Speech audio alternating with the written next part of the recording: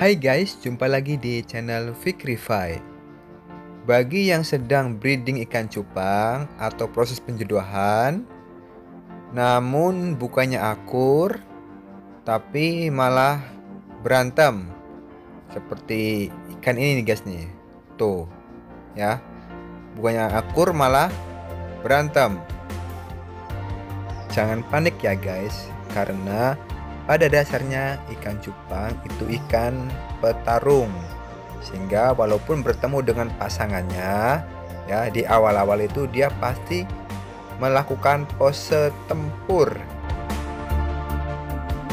Jadi biarkan saja karena nanti juga balik lagi. Jadi akur lagi, berantem lagi. Akur lagi, berantem lagi. Yang terakhir dia akur. Yang terpenting, pastikan ikan betina full telur dan gelembung yang dibuat ikan jantan sudah banyak. Jadi, ikan betina tidak perlu diangkat ya guys, biarkan saja.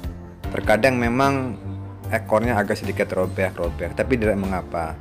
Selama seperti itu, berantem akur, berantem akur nggak apa-apa. Kecuali berantem terus ya. Sampai pernah waktu itu saya juga mengalami berantem terus.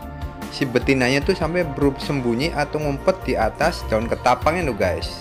Nah itu baru ekstrim namanya jadi mendingan diangkat tidak berjodoh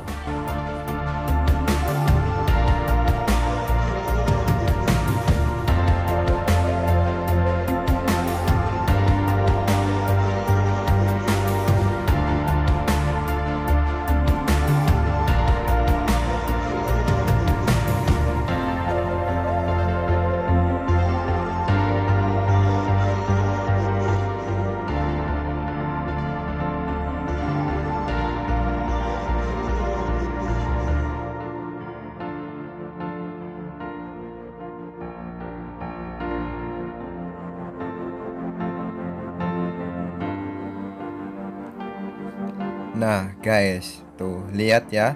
Akhirnya mau juga kan tuh akur dan berhasil di breeding. Mantap. Oke guys, sekian dulu video kita kali ini. Semoga bermanfaat. Sampai jumpa di next video and bye bye.